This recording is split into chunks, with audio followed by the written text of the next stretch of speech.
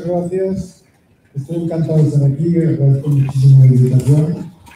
Yo durante muchos años he venido aquí, algunos me conocen desde hace años. Yo fui un amigo de Papa Alfonso, que yo era presidente de la FAS cuando él era director de la oficina de la aquí, y que yo era para el señor Cali. Y yo le di veces con él, me invitó a venir varias veces, lo tanto, pues estoy encantado de que hace como 10 años que no Y por lo tanto me encanta volver aquí y ver cómo está, y cómo se desenvuelto, y cómo está desarrollando.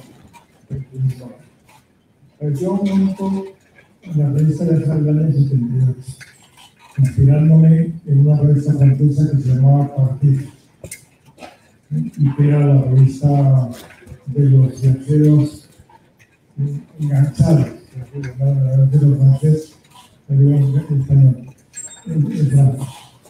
Y, y, y, ahí, como era el editor, eh, empecé a comprar porque teníamos una sección sobre viajeros históricos.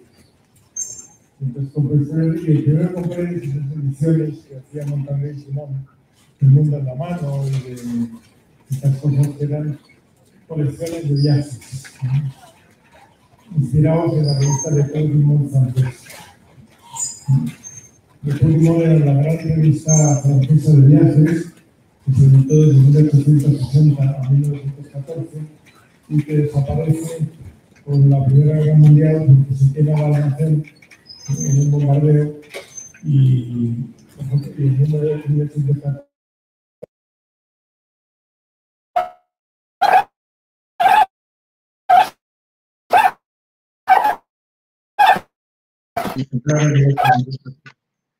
y ahí empiezo a comprar. Y a lo largo de ese tiempo me voy acercando cada vez más, voy conociendo más toda la, la visión del mundo del viaje. Y, y, en función del dinero que he ido teniendo, el dinero que va ganando, pues compraba libros más baratos que más caros, en función de, de disponibilidad. Y es verdad que a lo largo del tiempo, pues eh, tengo una biblioteca de libros de viajes, sin contar libros de arte que en cierta medida son conexos con los viajes, pero solo contando de viajes, tengo 16.000 ejemplares.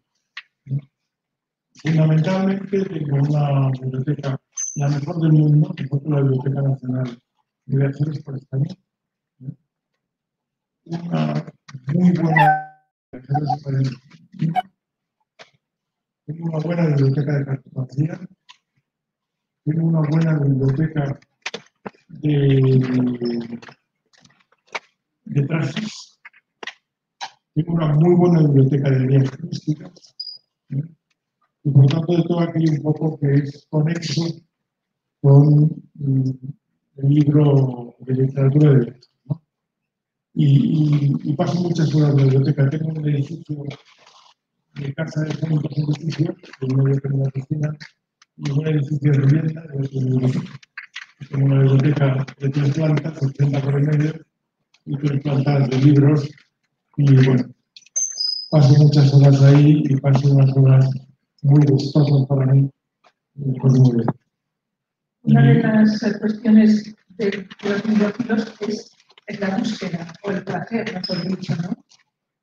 Recorrer las librerías de viejo, viajar a Londres a esas librerías de segunda mano maravillosas, eh, en las que cada vez, por desgracia, van desapareciendo, pero que están casi muy especializadas en literatura de viajes, y, y sobre todo ir pillando eh, de aquí y de allá. Tienes mm, libreros de viaje que te avisan, que te recogen cosas para ti, que, ¿cómo, cómo son esas búsquedas? lo que pasa es que yo me gusta, prácticamente tengo todo lo que hay de en español con el tiempo Y por lo no encuentro